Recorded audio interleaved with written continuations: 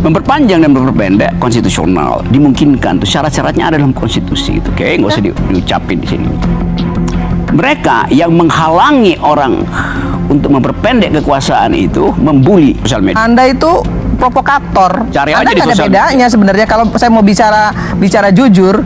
Kalau orang yang sebelah mengatakan Ade Armando itu adalah buzzer, Anda juga buzzer sebenarnya. Nggak ada bedanya di Anda sosial dengan media dengan ini. Kaniago ya. Oke. Caniago dan saya tahu beberapa Caniago di Republik ini. Tapi saya bisa bedakan mana Caniago yang punya otak?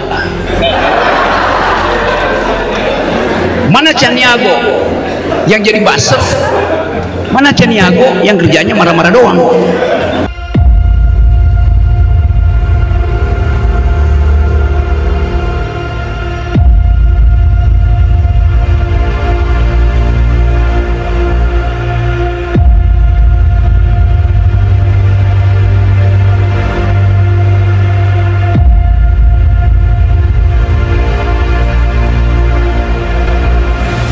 Oke, saya tahu bahwa di belakang pertanyaan itu ada rentetan asumsi. Oke, coba kita lihat hari-hari ini. Apa bedanya kemampuan generasi sekarang berpikir dengan generasi di zaman awal kemerdekaan atau bahkan menjelang kemerdekaan?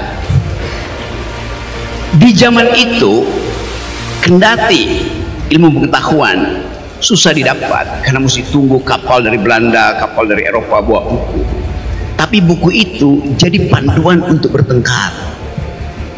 Sekarang kita nggak ada panduan bertengkar. Anak-anak muda itu masuk dalam jebakan psikologi namanya FOMO fear of missing out. Takut kalau nggak punya pegangan simbol seseorang. Semua orang ingin jadi kandidat. Apa itu kandidat? Kanda di mana dinda mendekat apa? buat dapat buku? enggak, buat dapat amplop. Itu yang terjadi sekarang.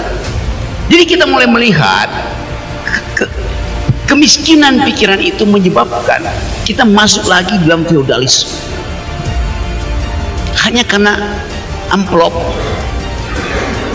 terjadi perkongsian politik. Jadi politik berkongsi demi amplop Haji Agus Salim lakukan terobosan. Seperti yang terangkan tadi soal kambing itu dalam versi yang lain. Di sebuah munas Haji Agus Salim lagi ucapkan pikirannya dan dia diganggu dengan mbak mbak tapi Haji Agus Salim tenang aja dia bilang saya ditundang oleh manusia kenapa ada binatang di ruangan ini Bayangkan kecerdasan dialektik itu. Itu bedanya. Tapi dalam munas hari-hari ini tidak ada lagi orang yang mbek-mbek. Karena yang hadir dan panelis sama-sama kambing. Tugas generasi adalah membuat diferensiasi itu dasarnya. Tugas generasi adalah lakukan radical break dengan the existing ideas dengan the existing politics existing apa aja. Kan hanya dengan itu anda disebut sebagai new kind of generation. Mulailah dengan menapis pikiran. Ini ada teman Kaniago ya. Yeah. Caniago dan saya tahu beberapa Caniago di Republik ini. Tapi saya bisa bedakan mana Caniago yang punya otak? Mana Caniago yang jadi buzzer mana Caniago yang kerjanya marah-marah doang? Kan itu kita tapis di situ. Nah tapisan itu dalam politik kita tapis calon pemimpin termasuk anak muda. Anak muda kalau mau jadi pemimpin jangan sewa lembaga survei. Ada gunanya walaupun anda punya uang. Jadi pemimpin itu tapisan pertama bukan elektabilitas tetapi etikabilitas. Nomor satu. Kalau dia lulus etikabilitas kita uji lagi intelektualitas baru kita izinkan dia diuji elektabilitasnya oleh lembaga survei. Yang sekarang ada lulus elektabilitas tapi etikabilitasnya tidak ada. Apalagi intelektualitas. Jadi coba bikin parameter. Tapisan pertama seorang pemimpin adalah etikability tapisan kedua intellectuality baru electability begitu caranya. Supaya pada satu waktu begitu dia lulus tapisan itu kita katakan oh anak muda kita anak mudaku ini adalah seorang leader. Itu beda antara anak muda yang leader dan anak muda yang dealer anak muda tapi pikirannya kolot. Pikirannya ngikutin orang tua. Ngapain? Tadi soal sejarah misalnya. Ya saya tahu hanya udah ibong. Itu nggak ingin dielulukan negara memberi dia status pahlawan. Johan Sarusa. Diberi status pahlawan lalu kita diminta mengingat-ingat jasa beliau. Seluruh ingatan kita diarahkan untuk mengingat jasa-jasa pahlawan.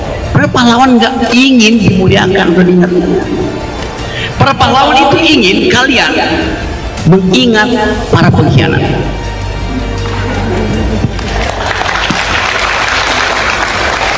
Sejarah yang benar adalah sejarah yang mengingat-ingat para pengkhianat bukan mengingat-ingat para pahlawan. Supaya kita belajar dari pengkhianatan itu dasarnya. Jadi ibu-ibu yang uh, uh, uh, para guru itu coba bikin reverse logic supaya anak-anak itu mengerti bahwa yang lebih penting diingat adalah para pengkhianat. Bukan para pahlawan. Karena pahlawan nggak ingin dapat kemuliaan dari situ. Dan berikutnya tentang fondasi yang memungkinkan kita berpikir tentang Indonesia. Yaitu kata republik republik respublika.